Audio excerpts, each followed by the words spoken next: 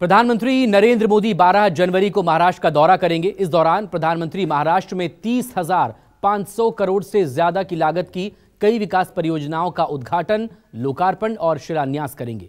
विकास की रफ्तार बढ़ाने के लिए प्रधानमंत्री अटल बिहारी वाजपेयी शिवड़ी नाहवा शेवा अटल सेतु का उद्घाटन करेंगे। करीब 17,840 करोड़ रुपए की लागत वाला अटल सेतु देश का सबसे लंबा पुल होने के साथ साथ सबसे लंबा समुद्री पुल भी है। उद्घाटन से पहले अटल सेतु से न्यूज़ 24 की ये ग्राउंड रिपोर्ट देखिए। देश का सबसे बड़ा समुद्री पुल मुंबई ट्रांस हार्बर लिंक बनकर पूरी तरह से तैयार है। 12 तारीख को प्रधानमंत्री नरेंद्र मोदी इसका उद्घाटन करने वाले हैं। ये पुल मुंबई और नवी मुंबई को जोड़ेगा।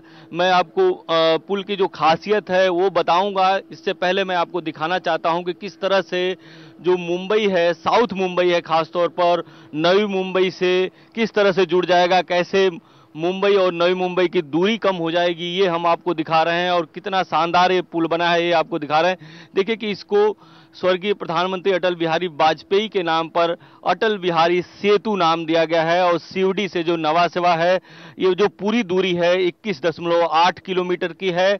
और सबसे बड़ी बात यह है कि इसमें सोलह दशमलव पाँच किलोमीटर, यानी साढ़े सोलह किलोमीटर समुद्र में ये पुल है और जो ज़मीन पर है, लगभग साढ़े पाँच किलोमीटर ज़मीन पर है तो आप समझ सकते हैं कि कितना शानदार पुल है।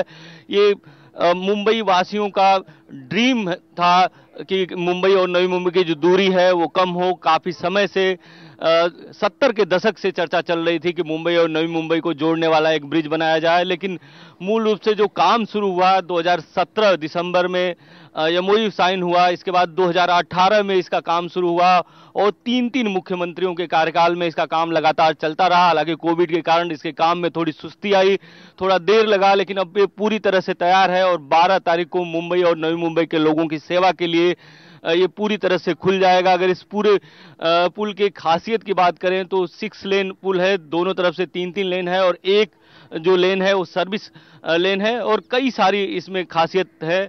अभी हम सीवडी पार्ट में हैं और यहाँ से हम आगे की भी दूरी तय करेंगे और आगे आपको बताएँगे कि आगे इसमें क्या क्या खासियत है। अटल सेतु को बनाने में करीब बीस हज़ार करोड़ रुपए खर्च किए गए हैं। और इससे मुंबई और जो नवी मुंबई की दूरी है, वो करीब 20 से 25 मिनट की रह जाएगी। अगर इस रोड की खासियत की बात करें तो यहाँ पर 100 किलोमीटर की रफ्तार से गाड़ियाँ चल सकती हैं।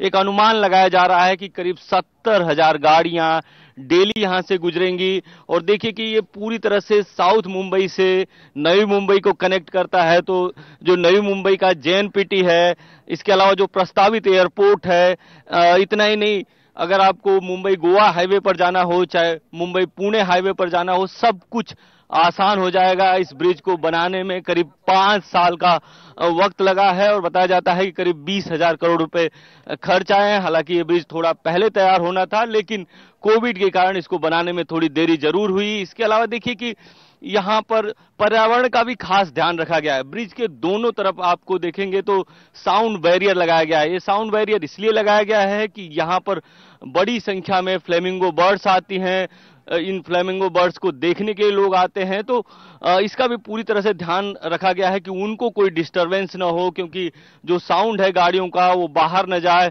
वो जो पंक्षी हैं, वो डिस्टर्ब न हो, इसका ध्यान रखा गया है, इसके लिए ये साउंड बैरियर लगाया गया है। इतना ही नहीं, ऐसा बताया जा रहा है कि जो लाइट्स हैं वो लाइट्स ऐसी लगाई गई हैं कि सिर्फ़ ब्रिज पर लाइट पड़े नीचे लाइट न पड़े, यानी कि जो पंक्षी हैं, इसके अलावा मछलियाँ हैं, उनको कोई इसका इफ़ेक्ट ना हो।